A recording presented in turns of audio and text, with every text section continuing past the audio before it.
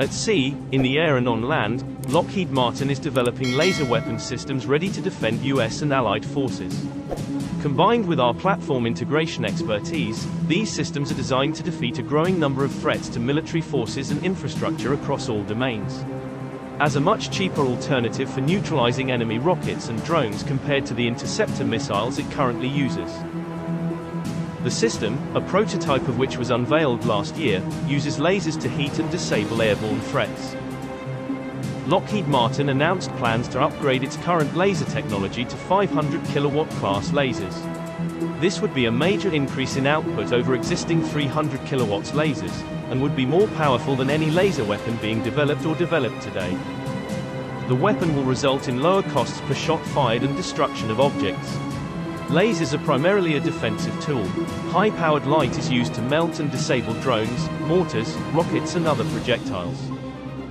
Many of these targets are small, such as quadcopters or simple rockets, and can be neutralized as threats by disabling the rotor members or guidance fins. A laser with 500 kilowatts of energy would be very powerful. This drone can take down a quadcopter in just 8 seconds. Used by PopSci, it took 15 seconds to stop the same type of drone. The 500 kilowatt laser under development is 50 times the same energy concentrated into a single beam, which would likely melt a drone in a fraction of a second. The US Army has selected Lockheed's 300 kW laser to mount on armored vehicles and protect formations from rocket attacks. The 500 kilowatts laser will combine the successes of the 300 kilowatts system and lessons learned from legacy programs to further prove the capability to defend against a wide range of threats.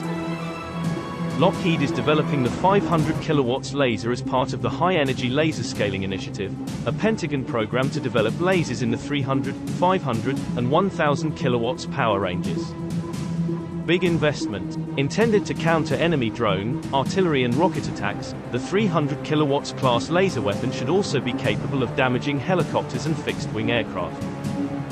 A minimum output power of 100 kilowatts is generally considered necessary for a laser weapon to be able to shoot down mortars and small drones at considerable distances. LAWS uses infrared beams from a solid-state laser array that can be set to high output to destroy targets or low output to warn or disable target sensors. By positioning key points, LAWS can shoot down small UAVs in just two seconds.